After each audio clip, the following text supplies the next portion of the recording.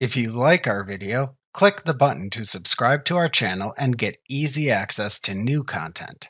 To see our full suite of ad-free video courses, instruction manuals, and quick reference guides, visit us at www.teachucomp.com. You can easily refund a customer's purchase if they return merchandise by creating a credit memo and then issuing a refund check. To do this, first create a credit memo for the return. After creating the credit memo, then create a refund check for the amount of the credit memo to refund the customer. To create a credit memo for a customer's return, select Customers, Create Credit Memos slash Refunds from the menu bar. In the Create Credit Memos slash Refunds window that appears, select the name of the customer or customer job for whom the credit memo is being issued from the Customer Job dropdown.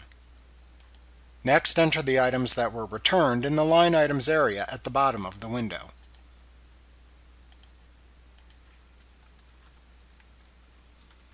Then click the Use Credit to Give Refund button in the Main tab of the ribbon at the top of the window to issue a refund check for the amount of the credit memo.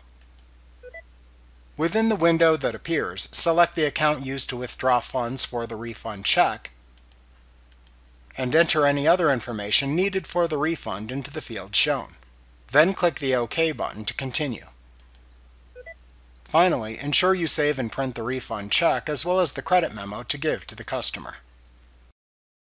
Remember to click the subscribe button to see more of our videos. See our full suite of courses, instruction manuals, and quick reference guides at www.teachucomp.com.